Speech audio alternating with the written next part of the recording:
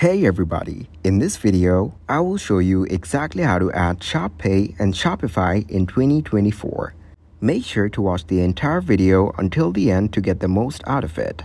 First of all, search shopify.com on your web browser. Then, click on the settings from the bottom left bar. Then click on the payment button from the left bar menu. Then, go to the payment provider and click on choose a provider. Then search a shop in third-party payment providers. After that, go on payment capture method and click on manually and save it. Then, go to the manual payment methods and there are different payment methods.